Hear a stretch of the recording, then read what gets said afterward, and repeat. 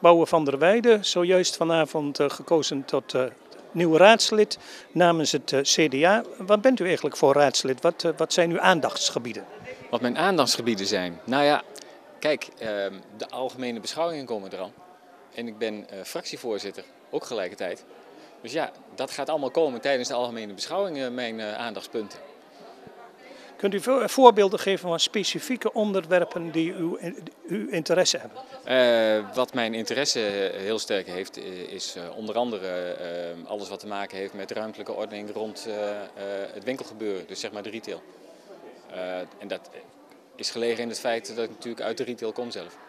Dus daar ligt inderdaad een heel duidelijk onderdeel. En de sport was voor mij ook iets belangrijks. Sport, uh, heeft, heeft, heeft dat iets, hebt u iets met sport?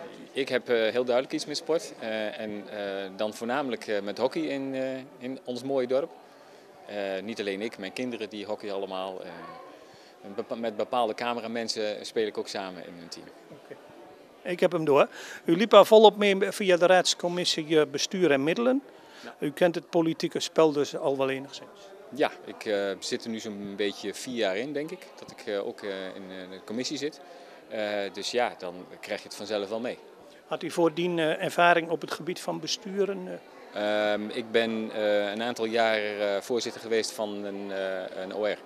Van een bedrijf DGN met zo'n 130 werknemers.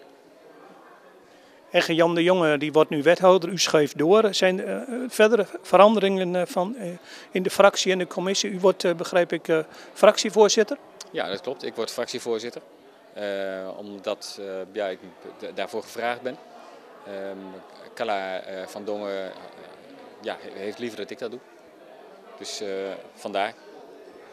De benoeming is voor drie kwart jaar. De intentie ook al om daarna nog weer door te gaan?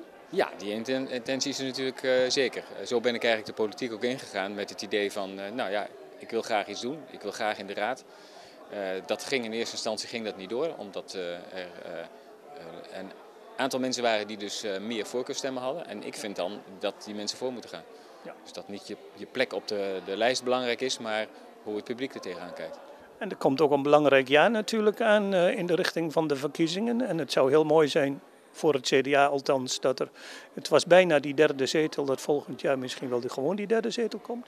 Ja, nou dat, dat hopen we zeker, ja.